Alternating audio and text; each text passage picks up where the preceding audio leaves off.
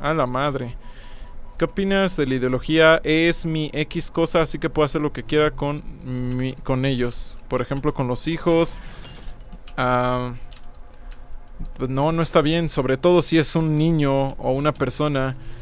No, no, no puedes, este, porque no es tuyo, no, no. O sea, sí es técnicamente tu hijo, pero eso no es un contrato de propiedad.